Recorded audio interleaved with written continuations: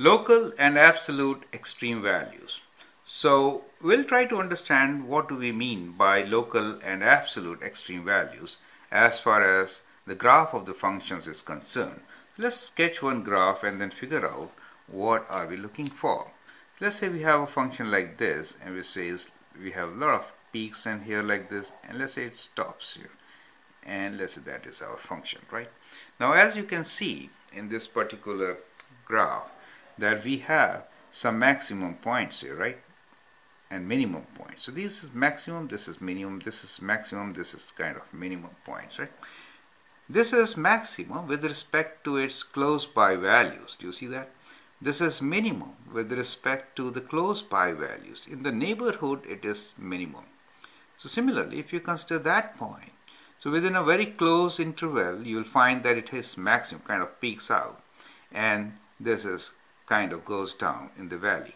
So that kind of a function, that kind of a graph when you see for a function, you know, those are your maximum and minimum values, but they are local. They are like only for a small limited portion. So these values, which are the lower portions, we call them local minimum values. And these values, which you see like the peaks, they are local maximum values. Right? And also you'll find that as far as the function is concerned it does have a maximum. This this is like there's nothing more than that during the whole graph which you see here. So we call this as absolute maximum. Similarly this one seems to be the lowest point. So this is our absolute minimum, right? It is not necessary to have absolute maximum minimum at the ends, right? It could be at the center also. You've seen graph of a parabola, for example, right? So we have absolute minimum and local minimum same also. So there is a possibility of both being same also. We have same absolute and local minimum in this case, right? So, so that is possible, correct? Now what we notice most of the time is that these local maximum minimums occur when there is a turning point. So whenever the graph turns, so what we are seeing is whenever it changes from increasing to decreasing, then we have maximum. And when it changes from decreasing to increasing, then we have minimum, right? That is one way of looking at it. Now, as far as the functions are concerned, when we talk about uh, increasing and decreasing, so what in function when we find derivative, if the derivative is greater than zero, then we say function is increasing, right? And if the derivative is less than zero, then we say that the function is decreasing. So basically, if we try to find a point where derivative is equals to 0, then we know it's a critical point. So we call that as a critical number, right, or a critical point. So, so in this case, if we find derivative of the function, we'll find that these are our critical points, right? So, and if we observe what happens to the derivative before and after, so in this case, before it is plus, right? So it is derivative I'm talking about. So it is increasing and then it is decreasing. Since it changes from increasing to decreasing, we have a local maximum. And in this case, it changes from decreasing to increasing, so we have a local minimum. So that is another way of algebraically finding, with the help of derivatives, the points on the function graph where it could be increasing or decreasing, right? Now the other things are the endpoints of the function, right? So at the endpoints we could always have absolute maximum minimum, right? There is a possibility that this function could have been the lowest most point. So a local maximum minimum as you can see here could be also absolute maximum minimum, right? There's one more critical case which I would like to highlight here. At times you can have functions which are, as you have seen, absolute function, right?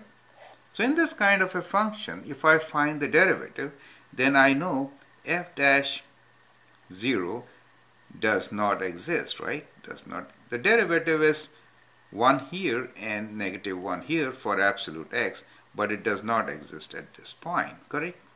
So that is also a critical number. So for critical number, we have two criteria. One is f dash x is equal to 0, and the other one is f dash x does not exist, right?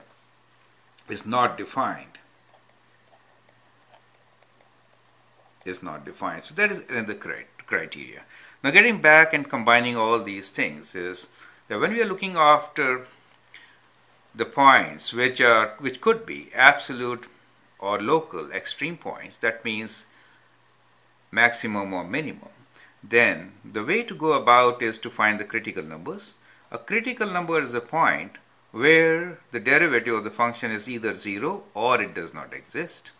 Then once you get the critical points, you can actually find whether it is increase, changing from increasing to decreasing or decreasing to increasing in the neighborhood of that point, right? If it changes, then you have a local maximum or a minimum, right?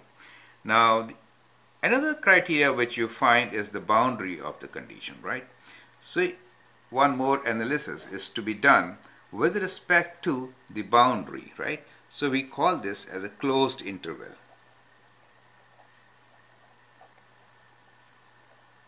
Let's say this point is at x equals to a and this point is at x equals to b.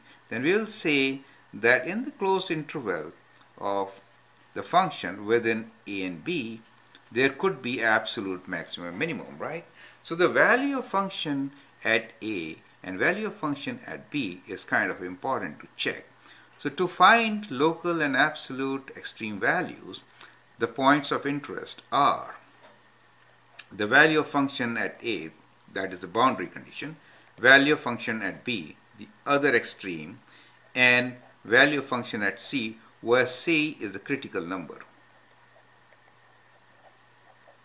So these important points will give you how to find local and absolute extreme values for a given function, right? Now here, let me also say what is the difference between local and absolute extreme values?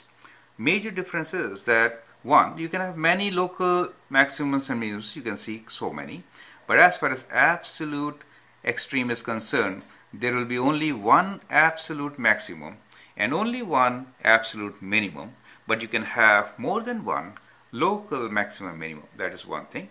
And second thing is that local maximum minimum occur only in the limited domain in its own neighborhood, correct?